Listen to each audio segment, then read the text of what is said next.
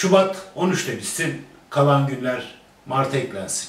Benim sevgilim yok, bari kediler bayram etsin.